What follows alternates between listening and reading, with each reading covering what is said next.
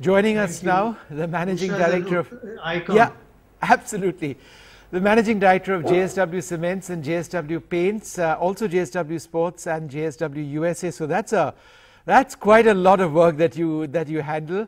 How significant is Bengal in in the JSW growth story?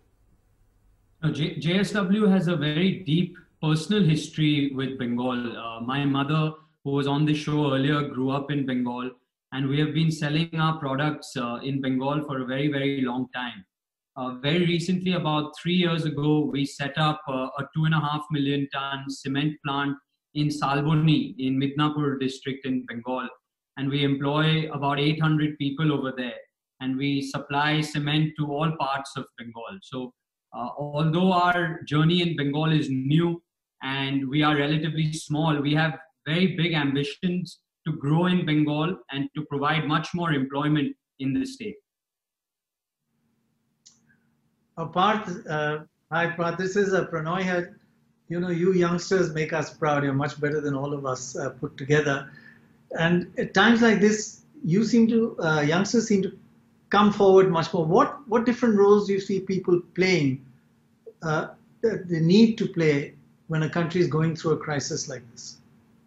First of all, Dr. Roy, thank you so much uh, to NDTV for doing what you're doing Thank for you. Bengal Thank you.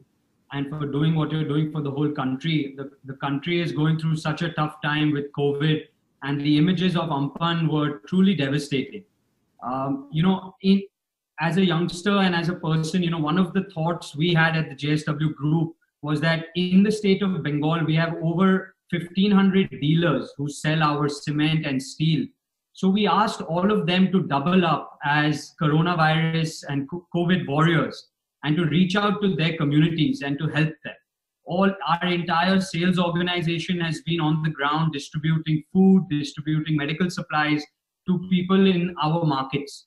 And I think it's a time for every corporate to come collectively and work together with the government, to work collectively with NGOs, to really stand good for all the people who have done so much. We wouldn't be here, the JSW group would not be here if it wasn't for the people of India, if it wasn't for the people of Bengal. And it's our time now to give back to the community with as much vigor as they have given to us.